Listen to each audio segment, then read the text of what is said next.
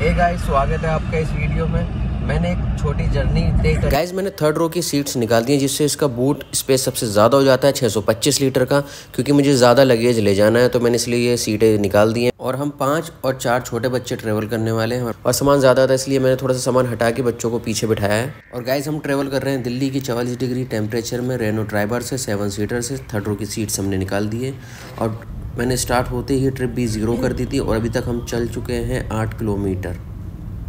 चलिए बने रहिए और मैं इस वीडियो में मैं आपको बताऊँगा कि माइलेज का इशू जो जैसे सब कार ओनर्स को आ रहा है कि किसी को 11-12 का एवरेज आ रहा है और किसी को देखने के लिए मिलता है 18-19 का।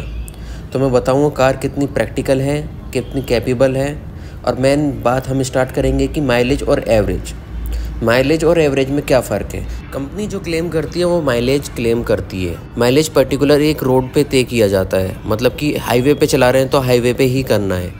और एवरेज में क्या कंडीशन होती है? कम, एवरेज में क्या होता है? मिक्स होता है।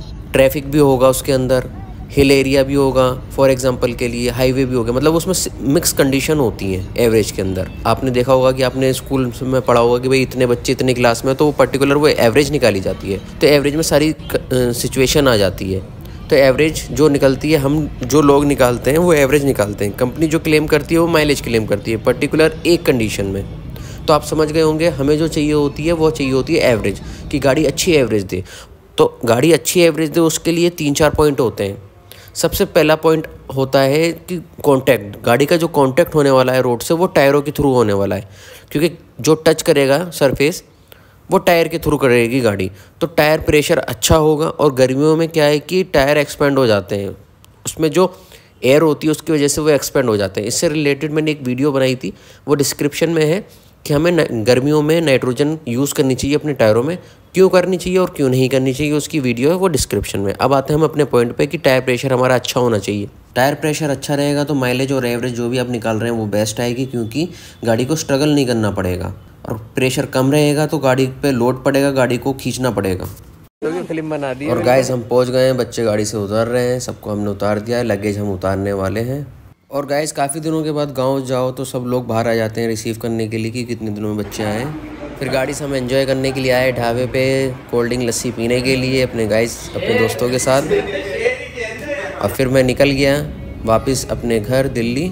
गाइस अगर आप चाहते हैं कि आपकी गाड़ी एक अच्छा एवरेज दे गाड़ी कोई सी भी हो तो उसके लिए टायर प्रेशर का बहुत ज़्यादा ध्यान रखिए।